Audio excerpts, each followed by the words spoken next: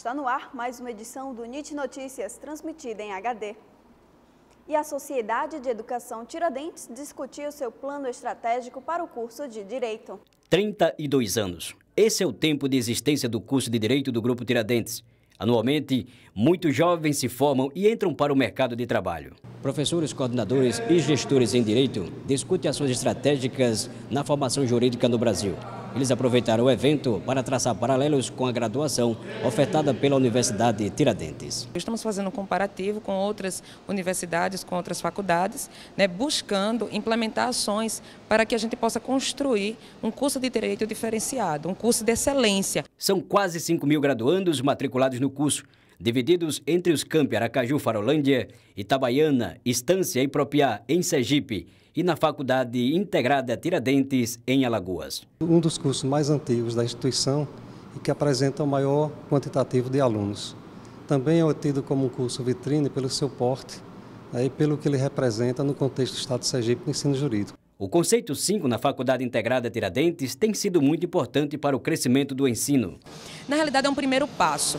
Né? Foi uma luta, foi um desafio, foi uma construção realmente conjunta de um time de corpo docente, né?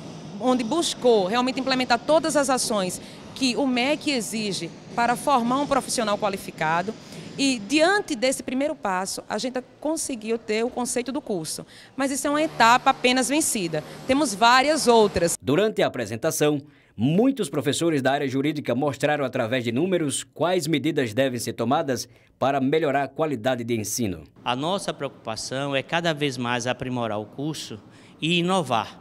Para os professores, essas discussões vêm contribuir cada vez mais com o sucesso do curso de Direito. É um momento de profunda discussão com os coordenadores, com um grupo de professores que representam o núcleo docente estruturante, no sentido de eh, analisar o curso como ele está acontecendo hoje e no sentido de discutir e propor melhorias para o curso daqui por diante. O Sistema de Bibliotecas da Universidade Tiradentes realiza mais uma edição da Sarauteca e traz para a comunidade acadêmica as obras do artista plástico sergipano Biogê.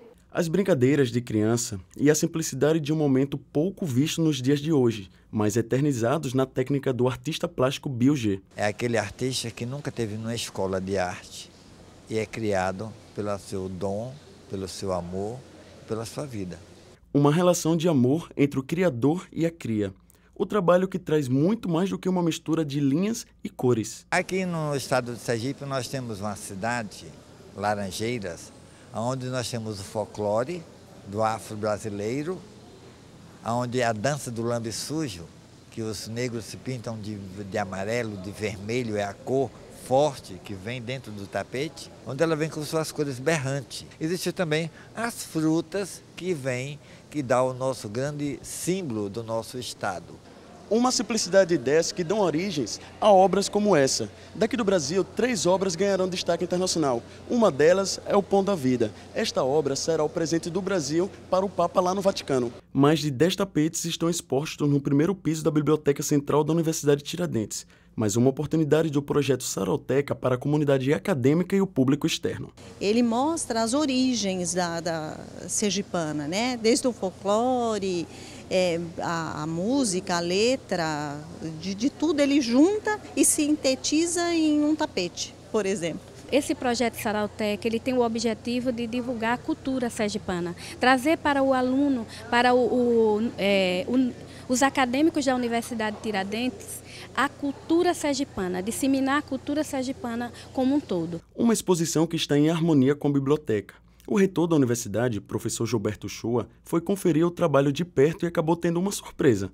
É uma arte de, de renúncia, de sacrifício, porque a paciência para fazer uma tela dessa não é uma coisa que se faz como se fosse uma máquina. É com paciência, com ponto a ponto, até produzir essa beleza que você está vendo aí. Tapetes que simbolizam a cultura sergipana e demonstram que a arte também faz parte de um conhecimento sem limites. Esta edição do NIT Notícias termina agora. A gente volta amanhã. Uma boa tarde.